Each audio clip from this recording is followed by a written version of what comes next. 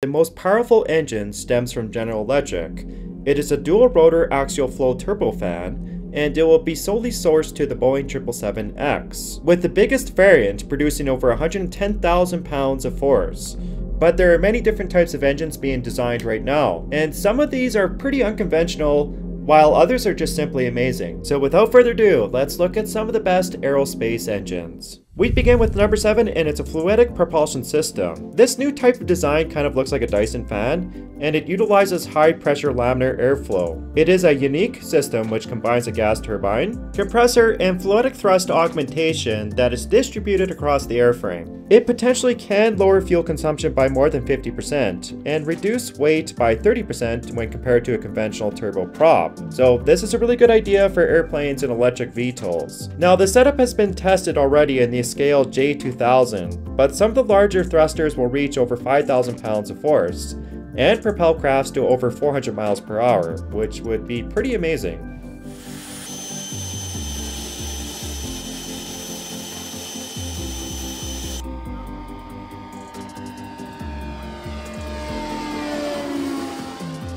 At number 6, the electric plasma engine. Wuhan University has come up with a very intriguing engine, which does not require fossil fuels.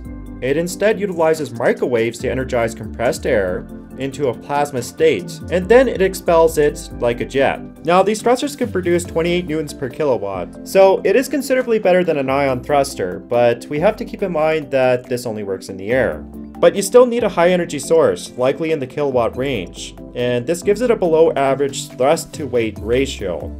It also needs compressed air, and it outputs at high temperatures, so whether or not this thing is really practical in aerospace applications, well, that is another question.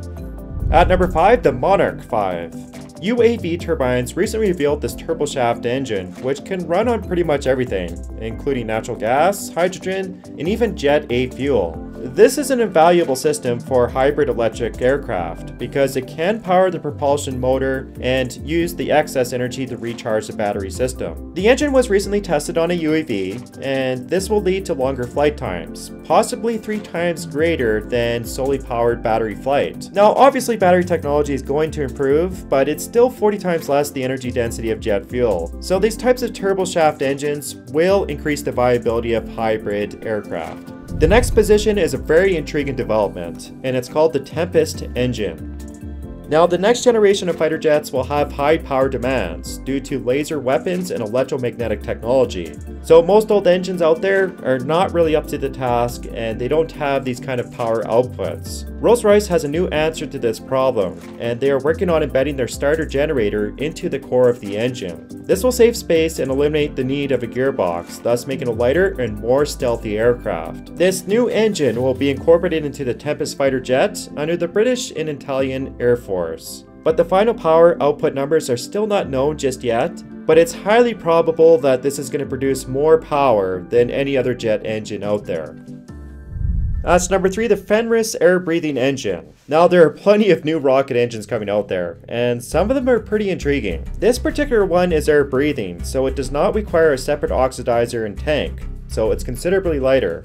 The key to this particular design is its Tesla valve, which maintains a high degree of airflow without moving parts. Even though they did build a prototype, I'm a little bit skeptical about this idea because the Sabre engine had to undertake massive ingenuity and engineering just to pre-cool the air going into the engine.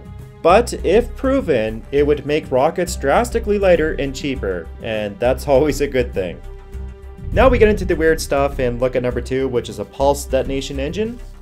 And these weird propulsion systems use detonation waves to combust the fuel and oxidizer mixture. They operate by injecting propellants into long cylinders that are open-ended on one end. And when the gas fills the chamber, the igniter is triggered.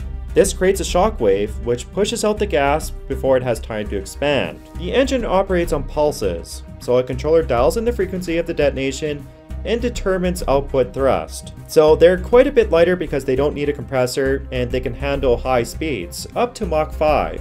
But the detonation is hard to perfect and they are very loud engines. The first flight of a pulse detonation engine took place on a modified Rutan, and it threw out roughly 200 decibel detonation waves, which caused structural problems. So tests were very limited to say the least. However, the Russia Space Agency has developed an oxygen kerosene variant, and it's officially dubbed as the world's first pulse detonation rocket engine demonstrator. I'm not exactly sure if it's a reliable prototype, but nevertheless, it's a very exciting development, and it's going to be interesting to see if they actually put this on a rocket in the future.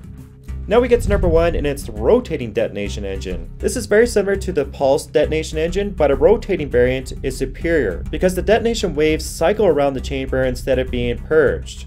Now, once again, research has been very limited on this type of engine, and it's very tricky to get the fuel burn just right. I think in the future that this design is going to be perfected by a machine learning algorithm in a virtual environment. Nevertheless, a small team affiliated with the US Air Force has already built a small engine. It runs on a hydrogen-oxygen fuel mix and it produces around 200 pounds of force.